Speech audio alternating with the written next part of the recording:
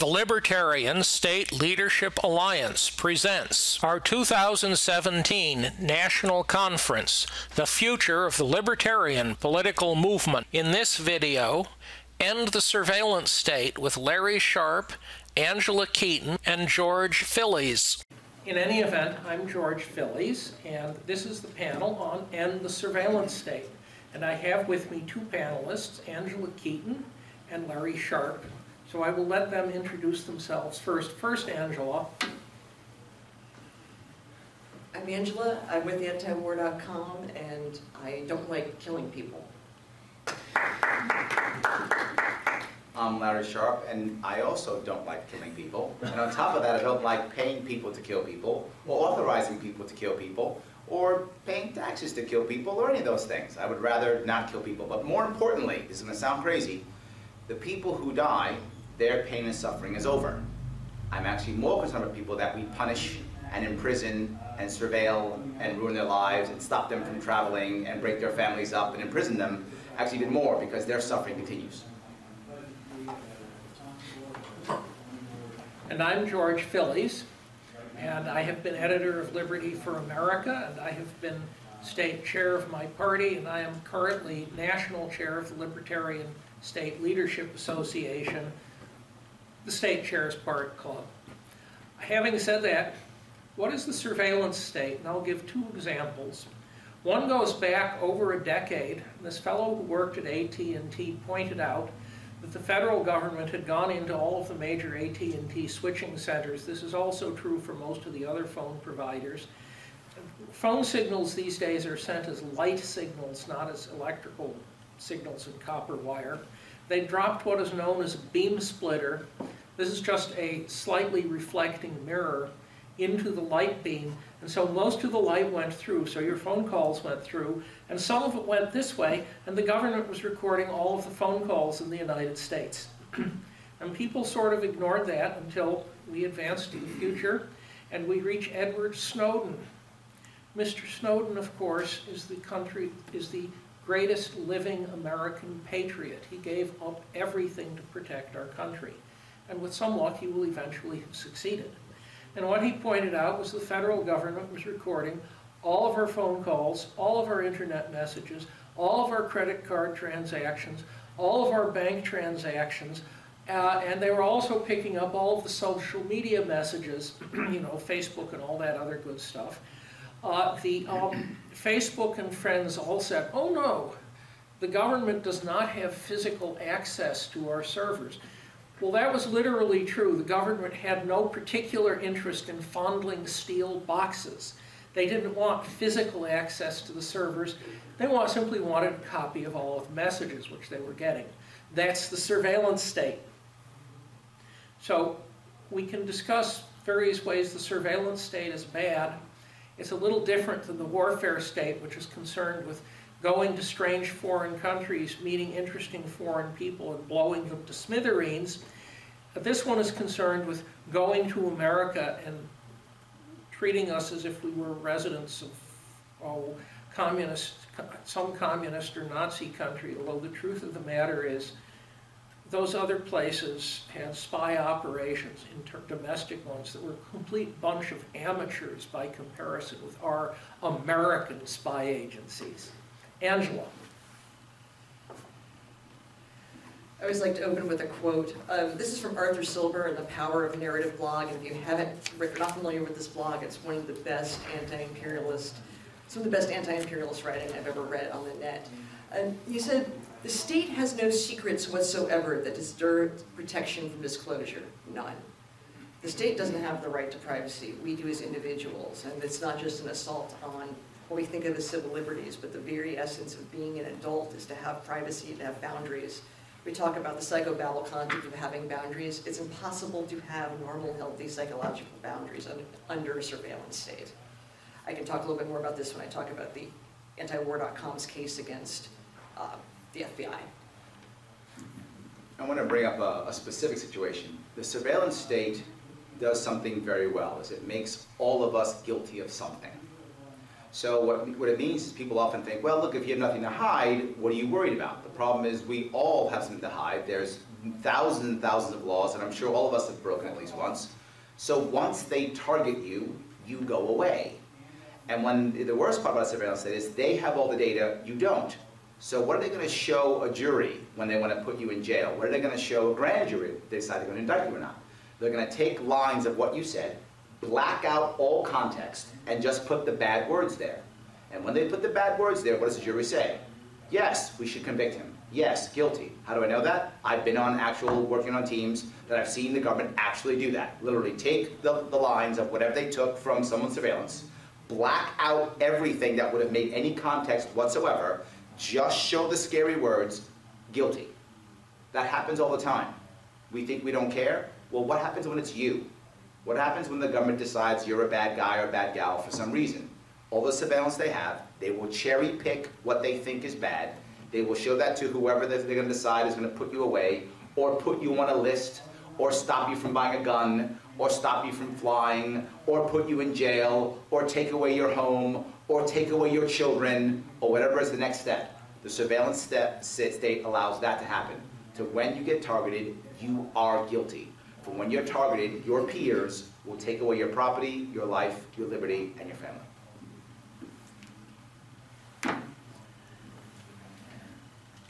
What is the, the most dangerous thing the surveillance state has done, though?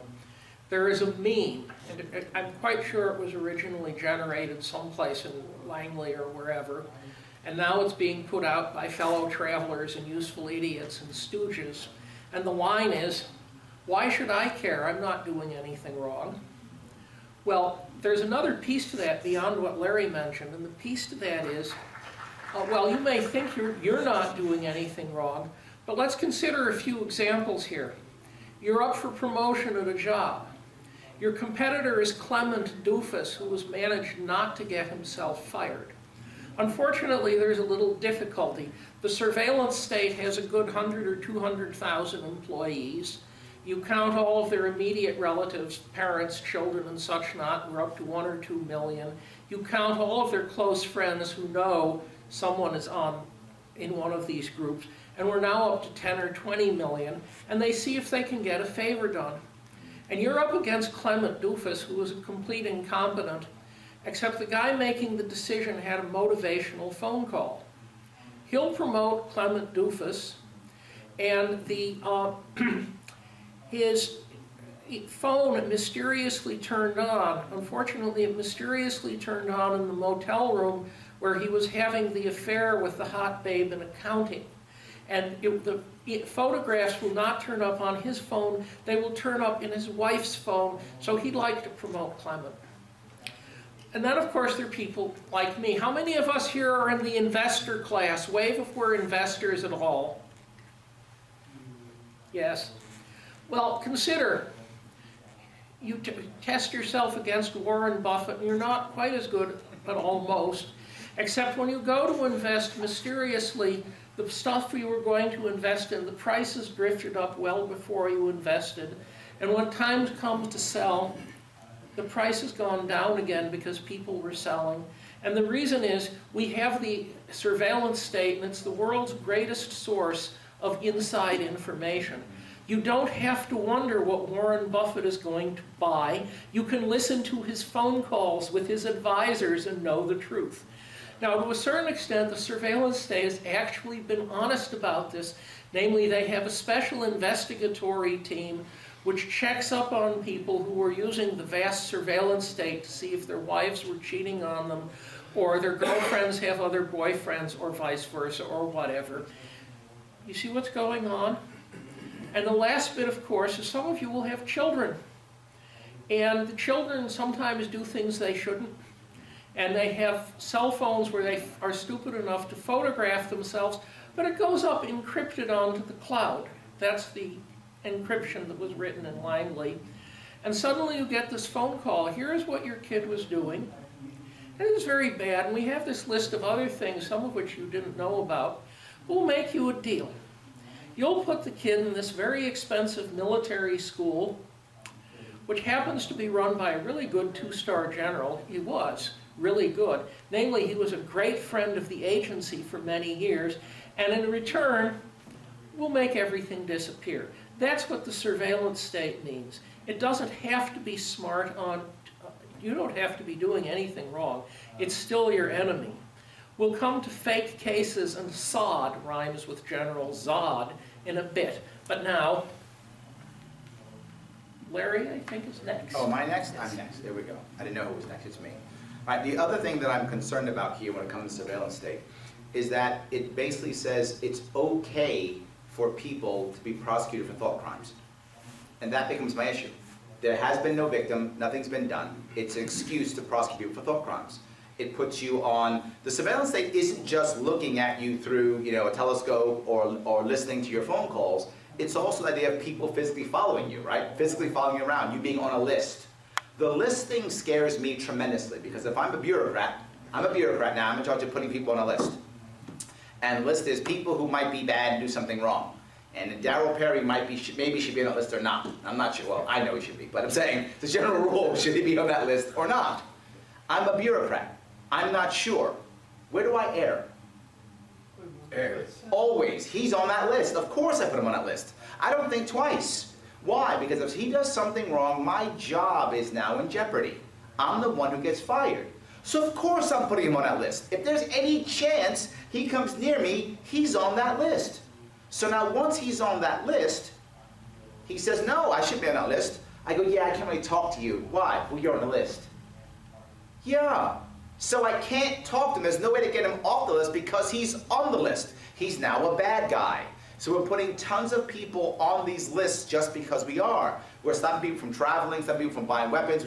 We're stopping people from having lives based upon, well, they might be a bad guy. And this is the biggest problem. This all comes from the war on terror, the war on drugs, the war on something. Once there's a war on something, I can do whatever I can to protect the people. And what they always talk about, I have to have surveillance, I have to have lists because I have to save people. Here's the thing that I want to be clear on. Every single executive since 9-11 has said, my number one job is protecting the American people. Nowhere in their oath was that. I know, I'm a veteran, I took the same oath. The oath is to support and defend the Constitution against all enemies, foreign and domestic. That's what the oath is. It's not to protect every single American. That's not what we're supposed to do. Not what anyone's supposed to do. In our perfect world, in our imaginary world where it's supposed to be, the, the government actually, or the people, the president, actually protects the Constitution. The Constitution protects, protects our rights so we can protect ourselves. That's how it's supposed to happen. But we've decided to lose our rights, and we lose our rights always for the same reason. It's the same reason every time, fear.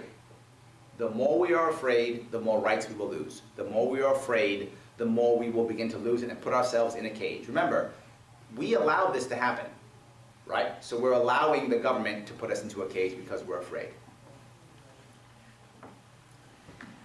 bad guys. I work for them. Um, in 2011, we learned that antiwar.com had been under some kind of surveillance since roughly 2002.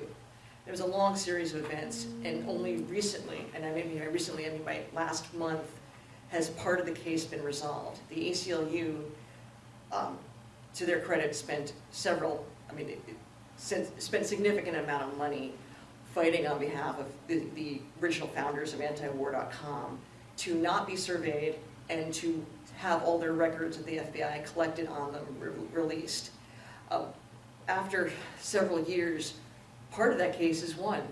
Antiwar.com, according, well, the ruling was that all the records were supposed to be released and that the surveillance would stop, and almost three hundred thousand dollars goes to pay some of the legal fees because all, most of ACLU work, most of the work the ACLU does is pro bono. Most of these people work for major corporations and then they do this pro bono work in their time. This is a real thing. And we all joke about being under surveillance and under, you know, thanks to Snowden, we know that we're all under surveillance. But being specifically targeted makes you think very diffi- differently about the world and feel differently about the world. And paranoia, which is a normal and creative reaction to actual oppression, becomes part of the way you think about think about your things. You can't be rational. You can't feel safe in your own thoughts. When Larry was talking about thought crimes, that's the one place that, my God, you think you might own. And when you can't express yourself in the most basic ways, or you are writing your basic journalism, I mean, we talk a good game about the Constitution. I love the First Amendment. All those things that it stands for are beautiful, wonderful things. But when journalism is considered a thought crime, or is an actual crime, or it's considered propaganda, and we're seeing a lot of that now with this, the, this artificial debate on fake news versus real news, and who's credible and who isn't, and some really blatant propaganda, this now reinforces all the things, I mean, basically, there is no, going to be no diversity of thought beyond the old school, like Noam Chomsky used to talk about manufacturing consent, and we think about the old leftist ways of looking at the media as kind of old school, but now as libertarians we realize that's all correct. Yes, there's a manufacturing of consent, there's a very limited range of topics we're allowed to speak about, and when you live under a surveillance state, you become much more self-critical, self-censoring. I know I've changed my behavior in light of anti, we learned about antiwar.com being spied upon. Now I have no idea if the government has any interest in me. I've been doing this kind of radicalism since I was a kid. I went to my first protest when I was nine with my old man. But the idea that you can be, the idea that your most intimate conversations are being recorded, things about your family, things that women discuss that are different from, that, that are specific to women that they discuss in private, all these things that feel, feels horribly violated, and it changes behavior, and it's deliberate to make us more cautious, make us more afraid. And I don't want to live in fear constantly. I don't like what it does to me psychologically. I don't like what it's doing to journalism, and I don't like what it's doing to the American people.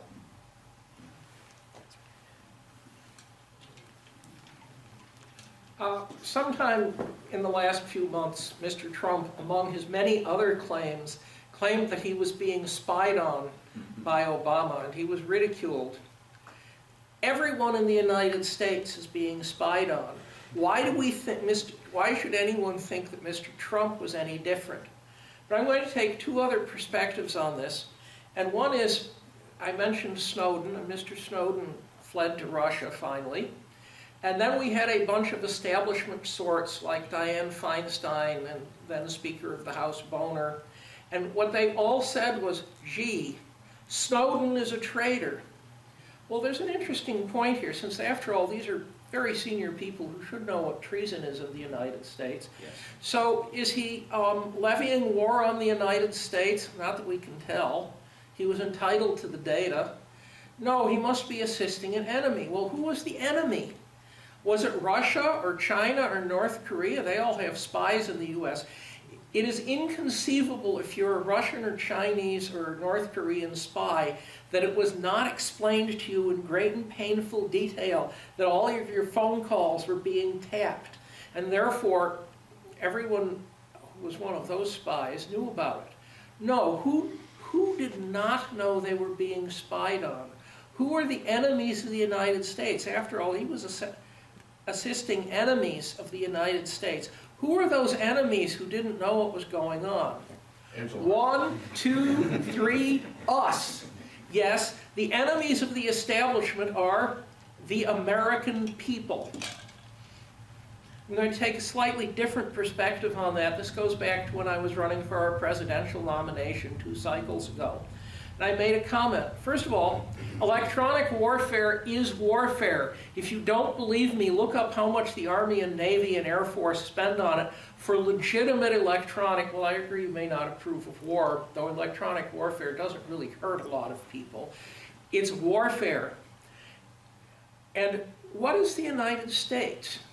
Is it a beautifully colored piece of cloth? Is it a piece of hemp paper with some interesting handwriting on it? No, the United States is the American people. And the electronic warfare of the surveillance state was warfare. It was being waged on the United States. Well, that's one of the three crimes enumerated in the Constitution. It's called treason. And who are the traitors? It's the head of the NSA and the head of the CIA and the National Intelligence Director and a whole pile of other people who were involved in this, like 50 or 100,000 of them. They're all traitors to the United States. They're waging war on America. And as a libertarian who believes in enforcing reasonable laws where people are being injured, like all of us losing our privacy, I am firmly in favor of trying all of them. Now, I got the comment, well, you can't try 50,000 people. Oh, yeah? How many drug criminals do you think we have in prison at the moment? It's about 1.5 million. And after we let all of them out as good libertarians, there will be loads of space for all of those mm, folks to be spending the rest of their lives. You see, we're even going to give employment to otherwise unemployable prison guards. We're nice people. Yes, there's only one word that is needed to describe the surveillance state. Treason. Damn, I feel good. That's kind of invigorating, actually, what George just said.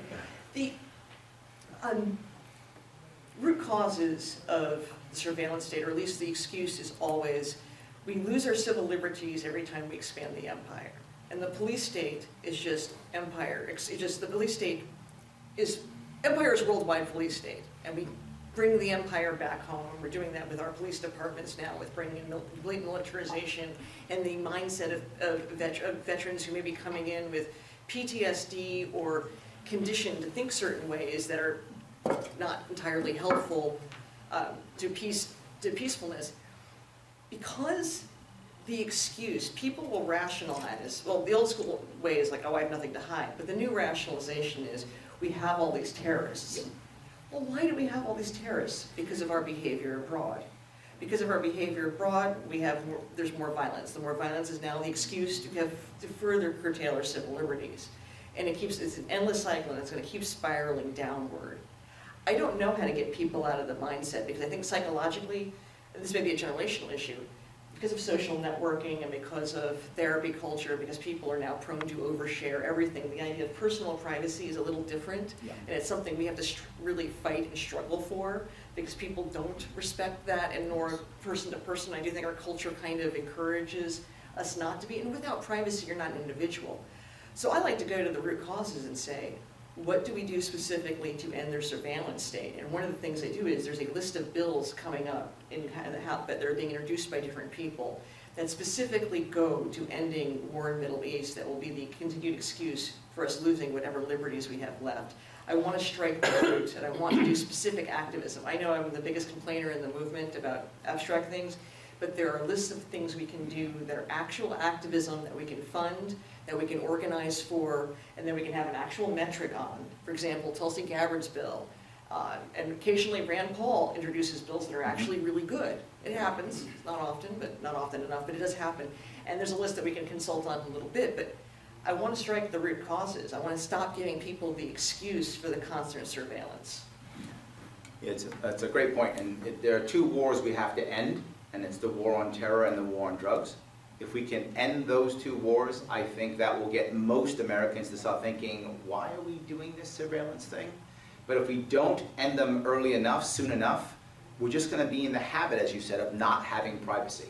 I think that will become a habit, it'll become part of our culture, that privacy will be seen as something that's silly. You can't have privacy, why can you do that? I hear people today talk about it that way. Like, why are you worried about it? You know, whatever you, whatever you, you know, do is on Facebook anyway. I, I actually hear people kind of joke about privacy as, right to your point, as, who cares? It's not valuable. Look, you can't have privacy anyway, so just put your stuff on Twitter and Facebook and who cares? So they're listening to your phone calls. You're gonna put it out anyway, it doesn't matter. There's almost a, a, a- a wave of youth that is thinking it doesn't matter anymore. So if we don't end these soon, second? Because they've been taught it. That's correct, yes. They've grown up in it, they've taught it, they believe it, yes. I can come into your locker, I can check your book bag, I want you to stand against that. Absolutely. And- Yes. And, and it, it, it- well, there was a, there was a white privileged point in time where this only happened to black kids in New That's York correct. City. But now it's essentially. Yes. Hop out of your BMW SUV, wave goodbye to mom, and get searched. Yes, and let me check your bag. Every every day, I was at a Mets game uh, the other day, other day, and they, they check your bag before you come in. They do a metal detector before you go in. Baseball games are now that way. You check this, pull you aside, one check check you up and down, everyone in person. So privacy is is really, to your point, it's right in the money. It's going away as the norm. Soon it will be the odd thing. Like, why would you want that? And soon asking for privacy, just asking for it, will be the admission of guilt. Stasi. That's correct. Oh, why do you want privacy? What are you hiding? Why do you want privacy? You must be a criminal. So eventually that's going to happen. So we have to end those two wars right away. If we can end the war on drugs and end the war on terror, many Americans will stop thinking that it's valuable because now as soon as it's a terrorist attack, you see it. There was a terrorist attack in, in England, right? Recently in Manchester, right? Not this Manchester, right? Yeah, there was a, ter- there was a terrorist attack in, in, in Manchester, in England, right? With 22 people, is that right? It was 29? 29 people died, 20 people, horrible, terrible. It's terrible. More people committed suicide in America that day. Not an hour, a day. More people, in about 100 uh, or so people a day commit suicide in America, give or take. So more people committed suicide in America that day than 20 people who died. But do we hear about that? No, not at all. Instead, we hear the world's ending, more safety. The world's ending, more safe. The first thing that happens in New York City, where I live, is now you see the cops out with the M16s and the AR-15s in the train stations now. And they're checking your bags. That's what happens because of an attack in Manchester that kills 29 people.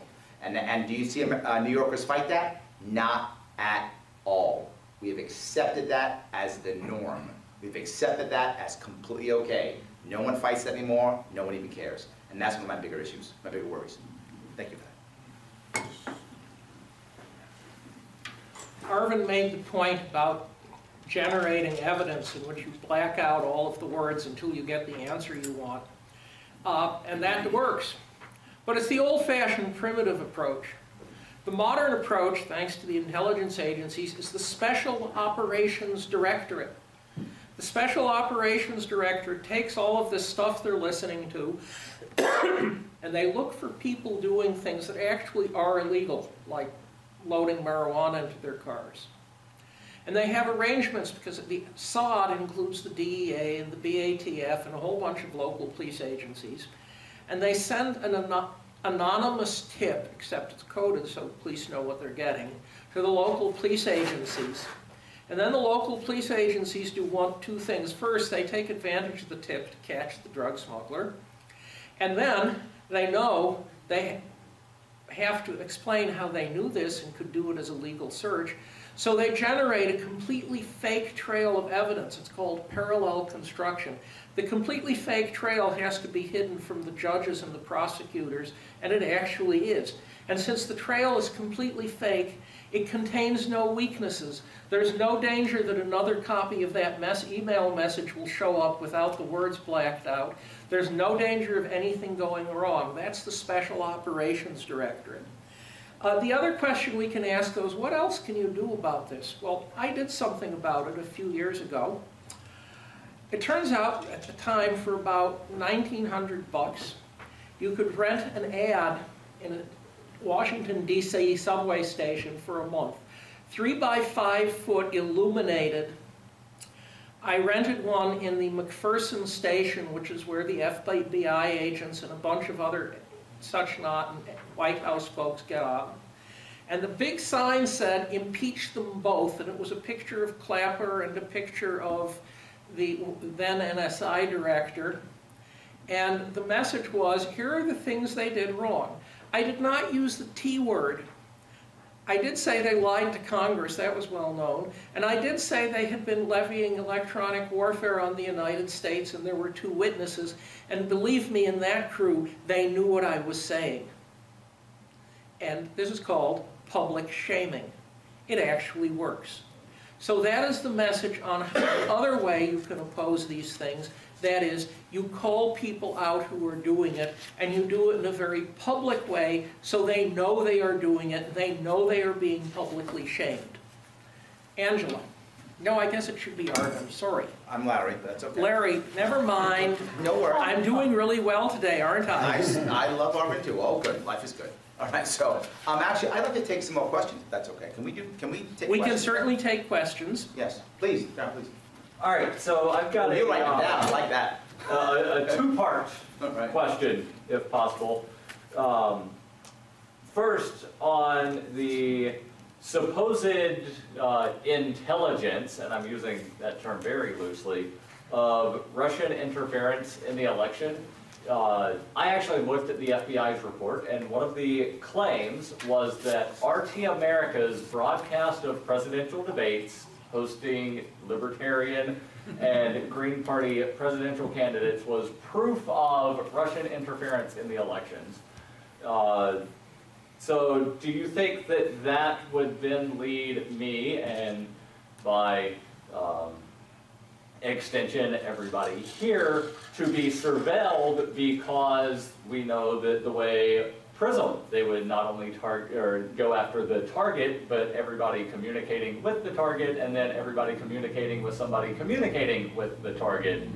And the second part of the question is the anti-war uh, surveillance where they were being surveilled by the FBI. Do you also think that they would be looking at the donors and then the people communicating with the donors? Well, I'll talk to, fir- touch the first part. The first part, I think no, and I think no because we're not a threat yet. As a general rule, and I did a little bit of intel when I was in the Marine Corps, as a general rule, you just keep it out there. You don't touch the target unless it becomes a hot target, right? This is an issue. You think something's gonna happen. So until they think that we're a threat, I think they just keep that in the pocket. I think they ignore us almost completely. And then if they see us as a threat, then they bring it out. Remember, the goal is to make it so that everyone can be, everyone's guilty of something, so that when I target you, I can put you in jail. So I don't think they're doing that now at all. So like the trial by Kafka. Yes, yes, Wh- wh- what, oh, oh, now, oh, you're, you're, you're an issue now. Okay, now we're gonna look back, bring all this stuff up, and now we're gonna put you, but I think now they're ignoring us right now. I don't think they care right now, we're not really a threat. If it became a threat, I think they would then bring it up. It's just, it's use of resources. Darryl, the, uh, well, you know, there's, the anti-war movement, the whole movement, I'm not speaking just specific about the Libertarian Peace Camp, has been under surveillance since World War I. It's actually very normal, that it, there's nothing really particularly freaky or outlying about what happened to antiwar.com under this, that's normal. The government has a reason to survey anti-war efforts, and as recently as 2010, there were anti-war activists in Minnesota who were, who were, whose homes were raided. A lot of them were involved more specifically with a justice for Palestinians and other more specific causes within the anti-war movement, but this is not at all unusual. Um, the ant, war is the biggest thing the state does, and it's the most important thing if you think about it that way. So naturally, they're going to take, the, the surveillance state is going to take an interest in what the anti, what, what the anti-war movement does and says. Um, I was thinking back though, there are different points in history where any of this probably could have been stopped.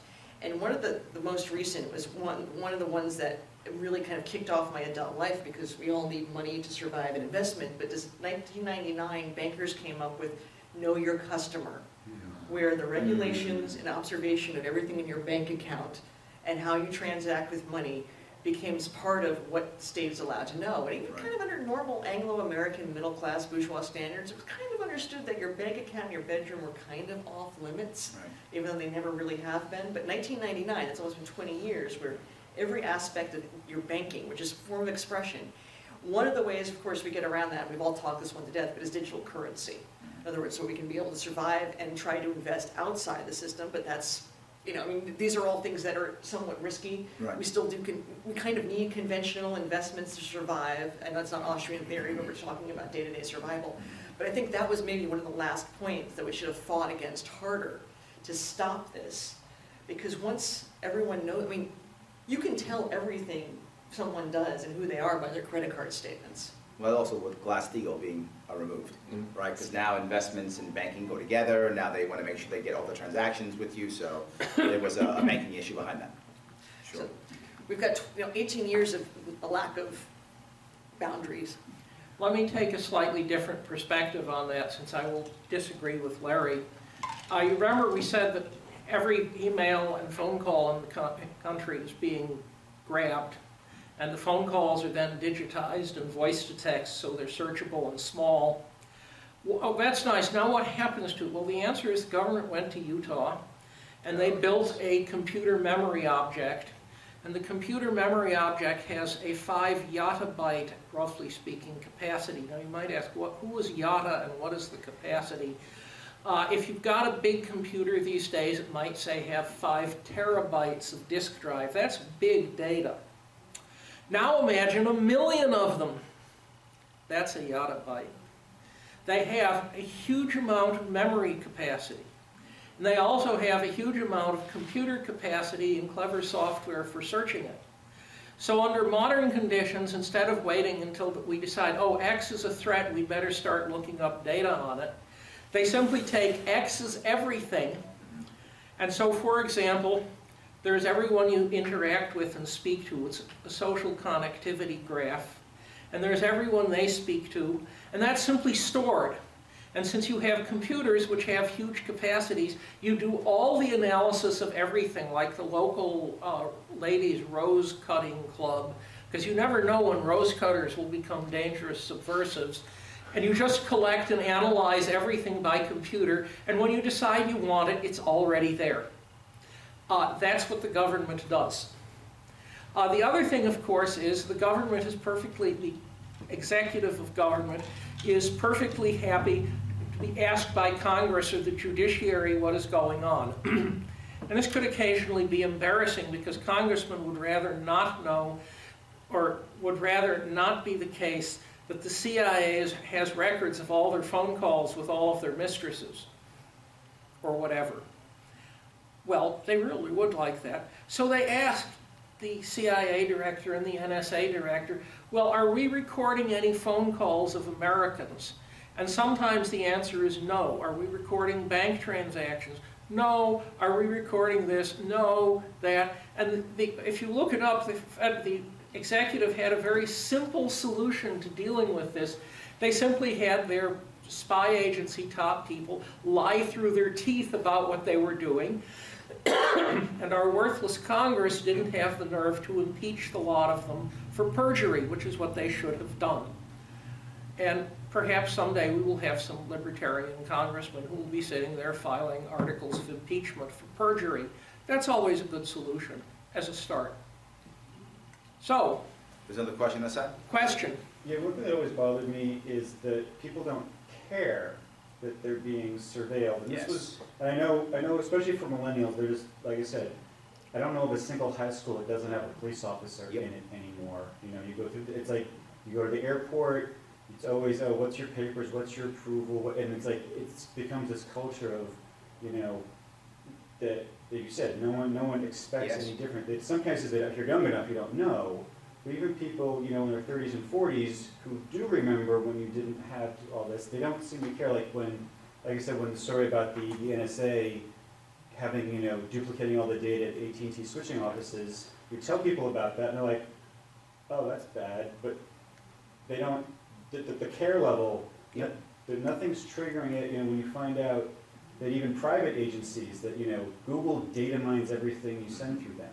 There's, a, there's actually a thing now that the psychologists are noticing, and- and it's been happening for about 10 years. It's teenagers acting like they're on a reality program when they're not. So they're assuming that they're always being viewed, that mm-hmm. someone is always taking their picture, that someone is always recording them. So they're literally speaking as if there's a camera there. They're looking, and now I'm thinking so-and-so. Like they, like they think they're now in the, you know, the, the, the room, what's that, what's that called? The, the, the small room you go to when you, Green room? The confession? room. no, the confession, room. thank you. They think they're in a confession room, and they're talking to their friend like they're in the confession room.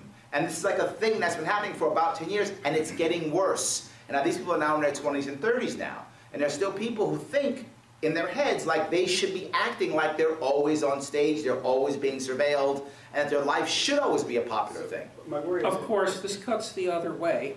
If you are the secret police and you want to intimidate people by threatening to reveal things, it works really poorly against people who assumed they were always being surveilled. true. Um, I hope that's not our answer, though. So- so No, that is not a good answer, but it is an answer. There are variations on this racket, the surveillance state racket, um, where this can blow up in people's faces. They wait until someone travels to a remote point, and then they put them on the uh, no-fly list and say, well, we'll take you off the no-fly list if you'll agree to be an informer. And this has been done on a fairly regular basis and has been called out. But the answer is, if you want to fix this, there are three boxes that will fix things. The soap box, the donation box, the ballot box.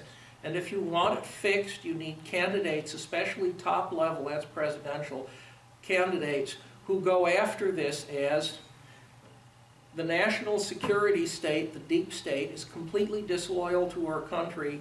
It has to be cleaned up simply by firing vast numbers of people and trying them. And the people who are defending it in Congress and my presidential opponents are disloyal to our country. They're as disloyal as the commie atom bomb spies, there actually were a few of them, back in the 40s. And you actually go after people in very firm terms, uh, and A, you might win, and B, you are moving the Overton window, because when you sit there saying advocates of the surveillance state are traitors, participants in the surveillance state should be tried, you're putting up a position which is not currently inside the Overton window, and that actually works. You want to talk about What I was, well, what I was gonna say, this is just something I wanted to make sure that this doesn't get lost out there.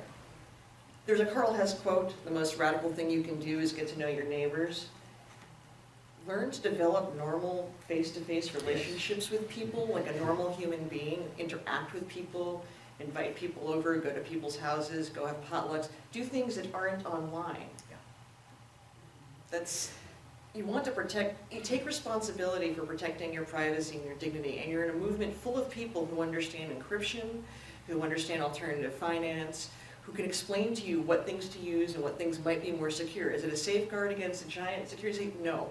But taking responsibility and taking action and respecting the idea of privacy is going to outlast, far outlast this empire. Because the empire will collapse, it won't go on forever. And maybe no one in this room will see the end of it, but damn straight that we've made our contribution to ending the stupidity.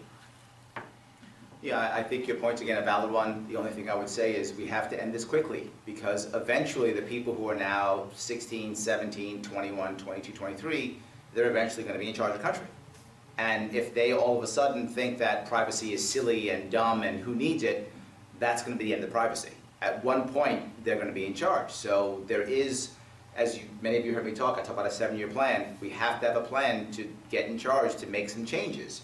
If we don't do it soon, it will be too late. There is a point of no return to where the people who think it's okay are in charge, are the majority, they aren't going to change anything, and we're wasting our time. So that's my bigger, bigger concern, is there is a time frame on this. Go ahead, you want to go ahead?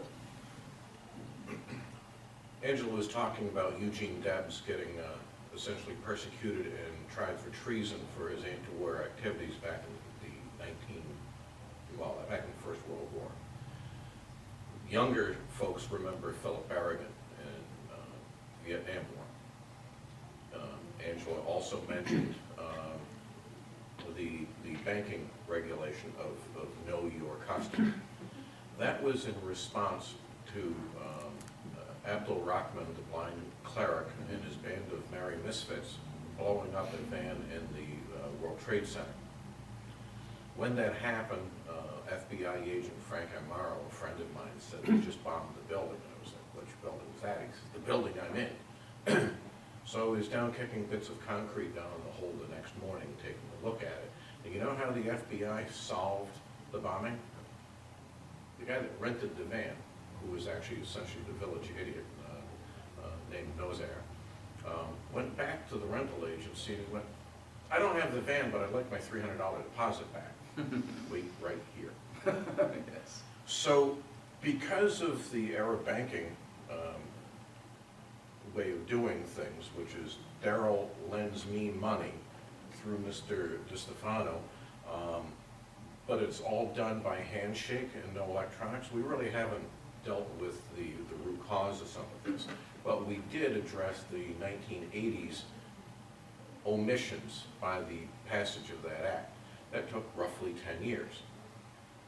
If you remember the night of 9/11, I lost a good handful of friends in that building when it went down, and all of them were firemen. When you looked at that TV, we went from early in the day to every talking head on every station had somebody in a seat, whether it was a dog catcher or a former general, saying, what are we going to do? The American people want to know, what are we going to do? It was a drumbeat for war, which Angela will tell you, and it was a drumbeat for this surveillance state that they had fought to establish for 10 years. And it needed a seminal event. How quick did the surveillance state pop up? Yep. Oh, good thing we built this thing, we can put it into effect tomorrow. We need a black budget, and we need to be able to say to a congressman, that's above your pay grade. And what we haven't noticed, how many here work in IT? Okay, what's best practices? Have a backup of everything. Mhm. So when I, as Larry Sharpe, want to go in and I want to buy a firearm, I have a uh, National Instant Check System, which is different than naval criminal uh, investigation, Mhm. but people move those figures around. When I have a firearm background check, the FBI, by definition in the law, is prohibited from keeping that record for more than three days.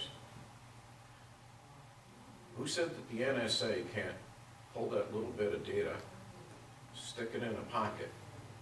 Because at no point has the surveillance state been told, you can't keep that record. So when the director of the FBI is interviewed, Mr. Perry, are you keeping a record of firearms transactions? Mr. Perry, before Congress, in official sworn testimony, can say, no, sir, we are not. But it doesn't mean that the government doesn't know who picked up that. So I, I want to bring up both of those, both of those parts. The first one you mentioned was the idea of, you know, how we, how we try to fix the problem afterwards. The surveillance state doesn't actually stop crime. Surveillance state just makes sure we can, we have a better chance of punishing people who commit crimes. To make sure that's true. It, the surveillance state doesn't protect us, it allows us to be more vengeful. Mm-hmm. So we need to be clear on that. It allows us to be more vengeful. That does not protect us. But they always say we need a surveillance to protect us. That's actually not true. It doesn't protect us. They always find a way around it every single time, but instead we, we often can punish the people. But the worst part is, if we pick the wrong people, no one knows we did. Because we had this great surveillance state. So it wasn't, you know, Osama bin Laden who did it, it was Saddam Hussein or insert person here. So that's a big problem. But your other point is a very valid one also about 9-11, and I'm guilty 100%. I was a Marine for seven years. I got out in 1993. When I got out, I thought, I'm done, it's over. When 9-11 hit that morning, I'm a New Yorker, I, I watched the second tower go down. I remember wanting to re-enlist. I remember literally wanting to call, I remember the number, 1-800-MARINES, because I wanted to go in as an officer and I wanted to go do something. I remember that emotion, remember that feeling. I didn't do it because my logic overcame my emotion.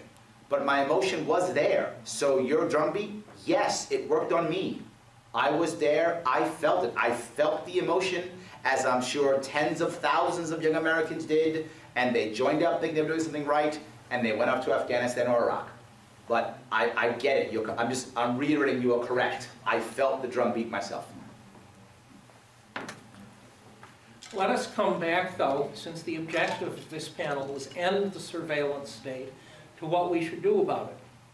Because if you go back to the late 90s, under one of our last five or six worthless presidents, there are a whole bunch of surveillance proposals like Know Your Bank, Know Your Customer, which got shot down. One of Know Your Customer specifically went, got shot down by the Libertarian Party because we started running full-page ads in the New York Times attacking it, and we asked for donations to support it, and we got large amounts of money in. And the um, reptiles crawled back under their, their rocks and stayed there for 10 years. And if you look up the stuff that was being put, the corrupt stuff that was being pushed in the late 90s, it went away for a dozen years and then came up back after 9-11 because it was all there.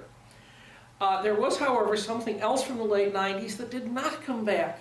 And what did not come back was our Libertarian National Committee and National Party doing public outreach attacking this sort of improper behavior. And we do not see the modern equivalent of the Libertarian Party and the surveillance state and know your customer. And that is a, fail, a curable failing of our national committee, which I hope will get cured, and which will also take us into the next panel. What time is it, by the way? Uh, we have about uh, five minutes left. Okay, we have about five minutes. Angela, do you want to add to that, or shall I take another question? I was going to just add something to that I, that came into my mind. Um, for those of you who like to do a little research, if you look up William and Nancy Hamilton, they developed a software in the 80s called PROMIS. The Department of Justice stole it, and they, the Hamiltons sued the Department of Justice for many, many years. What this software did was it, it, it uh, basically accumulated every person's electric bill, um, how much energy you're using in the house, your credit card bill. And it was the earliest way of compiling. It was supposed to be used by the department. It was supposed to be used as a prosecutorial tool but it basically now accumulated enough information where you can easily pull up profiles or create a profile in your mind. The Department of Justice stole that software and ended up on the open market and ended up that foreign countries had it and also had back doors built into it. The surveillance state's a lot older than we realize. I mean, the computerized one, it goes back to at least, I mean, at least that early. Most of us have forgotten it now because it just seems like such an ancient time, but going back to that, this was well, this pattern or this idea or the way direction we're going at was going long before 9/11. We've been on this path a long time, and I do encourage people to kind of read some of that history, the, the technology aspects and how the government literally stole software to help it surveil people better. I say something that I, I say this often, I want to say it again. If we want to change this, it takes a lot of conversations. It's really what it does. It takes conversations with you and the people you know, your friends, your family, the people you hang out with. Do what Angela says, go have friends, go outside and talk to people. And when you do, have these conversations. Talk about these things and get them out there. If people just hear about it once, twice, three times, it'll break through. I mean, I look at myself. There was a time when I thought everything the government did was correct. When I was 18 in the Marine, I would have given my life because some colonel said so. I would have ordered men to their death because some captain told me to do so. That's what I would have done. What got me to stop? People talking to me, having conversations to realize that that was not the right answer. I wouldn't do it today, but then I would have. And there are lots of people who still feel that way. We have to talk to them, have conversations, and before you know it, they'll come our way. Question? Yeah, uh, comment actually. So yes, I work for an IT company.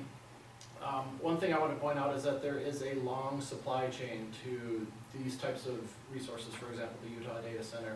Lots of companies, their products go into making this, this structure. No, it won't, you know, affect the, kind of the larger desire and the larger themes, but you can always go and talk to these companies that are supplying, you know, these, these products to um, defense contractors, et cetera, and make sure that, uh, you know, that not only your voice, but also stakeholders' voices are, and shareholder voices are, are known. Um, Second point I want to make is that there, are- there is movement within companies like that, um, you know, probably about ten years ago with, you know, sustainability, transparency, um, openness, and, and talking to stakeholders about issues, you know, people, this is on the minds of a lot of companies, you know, large IT companies, and, you know, there are individuals such as myself which are trying to push, you know, privacy and, and security um, as being a, a high priority issue that companies need to look at and address, you know, not only so that our products are, you know, clean and that we're, you know, we're not, you know, developing anything that can be used in this type of environment, but also, um, you know, that, that, um, that, you know, we're looking down our supply chain to make sure that our products are, are not counterfeited or that there's no backdoors put into products. So there's a lot of, you know, things that can be done along the supply chain that can help impact or at least raise awareness of, of these issues. Uh, There is a variation on that which just came to mind. If you own stock in a company, you get this proxy notice every year to vote. And one of the things you can do, though you may have to round up enough shareholders with enough shares, it depends on the company bylaws, is to start inserting company bylaws. For example, a shareholder vote at AT&T ordering them to delete the beam splitters uh, And the argument is it exposes AT&T to litigation and therefore is a misuse of corporate property. And even if the board of directors vote, vote against it, which is interesting to do if the statement is that it um, endangers this company's financial health to some extent, is that it puts the issue before the public, in particular the part of the public that has a lot of money and gets interested in politics. Does anyone want to add to that, or shall we bring things to a close? I guess the answer is, thank you all for coming, and I hope you enjoyed the session. The Libertarian State Leadership Alliance